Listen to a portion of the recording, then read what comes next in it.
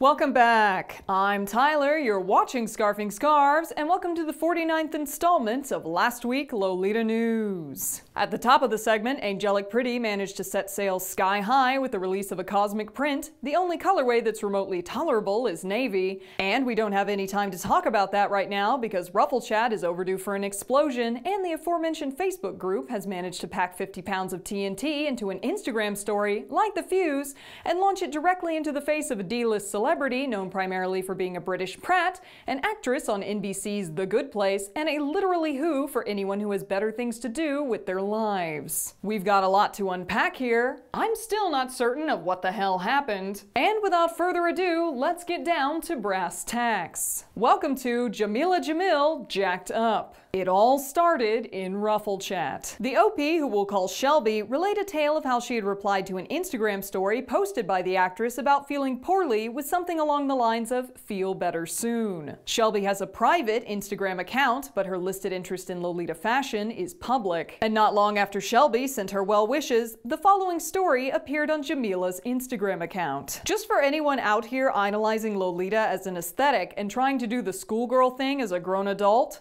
Reminder, Lolita is about a pedophile. This was preceded by, not trying to be an arsehole, but the Lolita messaging on here is problematic as all hell. It's not a great sign of where we're at as a culture to continue to sexualize the prepubescent, lost, vulnerable schoolgirl. It signals that women need to be young and powerless and cutesy to be sexy. It sends the signals to men that this is the case too. You can also be strong and powerful and most importantly yourself and find someone who finds that sexy. Lolita is a story about a pedophile, all pass. Shelby understandably interpreted this as an attack on EGL and alleged that Jameela must have seen her response to the story, clicked on her profile, and then made these Instagram stories denouncing the fashion. Ruffle Chat lost their mind over this to the tune of 300 plus comments, and Jameela's account has very likely since seen its first dose of a thousand ruffled petties. And that is understandable. However, before I pillory this woman for sinning against all things sacred, dig up her entire life, and drag her for filth, we first have to lay out the facts.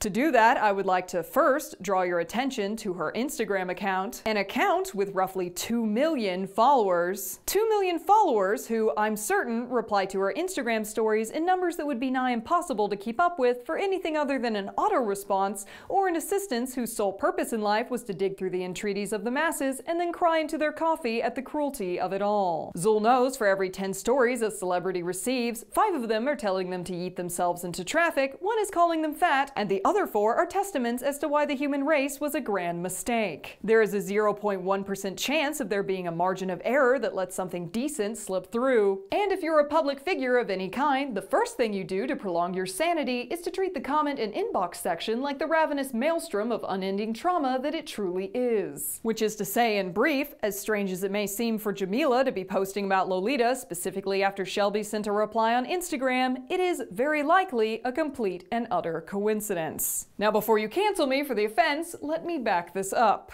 Taking you back to the original Instagram story, you'll notice in reading the text that Jameela never once uses the words Lolita fashion. Her reference seems to be the capitalized Lolita as in the title of the book, even mentioning what said novel was about in the image. The song she's noted in the bottom left corner by rap band E40 called She Was Only 16 is featured. And a quick Google search into the lyrics of that song come back with things that put me off my appetite for at least an hour, and that was post wishing I had a time machine to go back to 1990 92, track this guy down and toss my coffee cup in the exact trajectory that would lead to one assault charge, and an interesting time trying to explain exactly how some overly verbose Pratt cracked the theory of time travel for the express purpose of noping some two-bit poet in the face. It should be noted that this song explicitly describes a grown man having carnal relations with a 16-year-old girl. Said song is still available for streaming on multiple platforms, and before you leave to rue the fate of the species, I'd like a little more time to crack this case of mistake mistaken outrage. Because her second Insta story is even more curious. Again, while it is justifiable for this community to be upset at this lady after just a cursory read and the word of one of our own, I would urge caution post reading into a bit of the following. You'll notice that, again, there is no mention of Lolita fashion specifically, and while the quote, Lolita messaging on here could be interpreted as an acknowledgement of Shelby's reply, with the context we have of this woman's 2 million follower count, it is far more likely that even if Jameela did see the message, she didn't take the time out of her day to dig into the private Instagram of one person in her sea of followers. That said, given the use of the nauseating song and the equally disturbing prevalence of nymphet fashion on the Instagram platform, rather than talking about Shelby's response in her overburdened inbox, it is far more likely that she is referring to exactly what she listed, which is Lolita with a capital L, otherwise known as the book, and the associated nymphet fashion that glorifies it to an extent that it's only a matter of time until Instagram goes full Tumblr and nopes the lot of them into the pit of no return. At which point I will celebrate and immediately cease to exist on the platform because we all know algorithms can't be trusted and any mention of Lolita fashion will be removed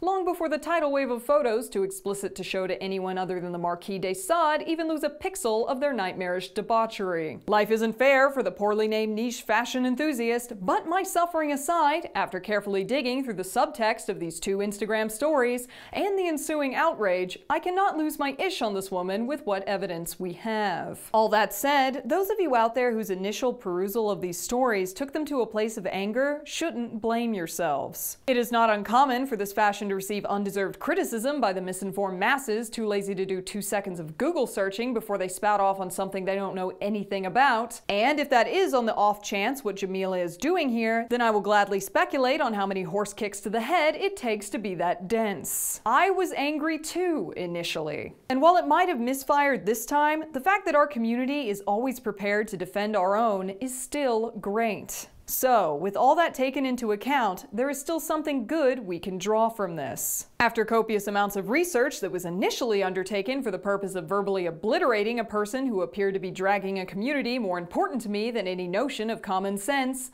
I came across a trend with Jameela. This actress appears to be heavily involved in running a social media campaign against the objectification of women, and while some of her more heated activist messaging leaned a tad too much into the dramatic for my taste, as a feminist myself, as much as I wanted to go full plague of locust on her at the time, I couldn't help but agree with her. Her discussion of self-esteem, fat shaming, and society's expectations of how a woman should be were consistent topics. And by the time I'd reassessed her Insta stories, cooled down, and took another look at my research, her work had me thinking. How does Lolita fashion affect self-esteem? A question I'll be answering in the next video, mostly because anyone who sat through this one is already bored to tears, and to give you a much needed break before I launch into a completely unnecessary tirade on the psychological implications of participating in a Princess Peach cosplay on a regular basis. That's all the time we have for tonight. Thank you for watching Last Week Lolita News. This has been Tyler. You've been watching Scarfing Scarves. And before you find the nearest cat video to cleanse your soul from this god-awful dive into maybe all of our outrage was misdirected, oops, now I feel awful, let's toss a pitchfork at the reporter to make us feel better. You should know that this show is sponsored in part by BB&B. They have just announced a collaborative piece inspired by none other than the most infamous Pratt in town, and should you happen to be low on sodium, love ice cream, or generally feel that retail therapy is is the only thing that could distract you from this god-awful marathon of a video, then you can check out their shop at bbmb.net for all your jewelry needs. That is, specifically, if you dare fight me for the lot of them. Link to their shop below, and to wrap things up with a big fracking bow, I'd like to thank my patrons for their existence in general. You guys are the people primarily responsible for my ability to take a hairy topic, say things that will likely piss off half the community, and then split the entire thing into two completely unnecessary videos for reasons that must have some something to do with the deeply seated spite for all concepts of love and joy. Those of you who want to join their numbers and or watch the world burn with marshmallows in hand are welcome to head over to patreon.com slash last week Lolita News. I can't promise the mob won't track you down too, but I do solemnly swear that you will regret every decision that led you here from the very day that you were born. I am not responsible for the horrific things you were about to see. Thanks again guys, and I'll catch you next time.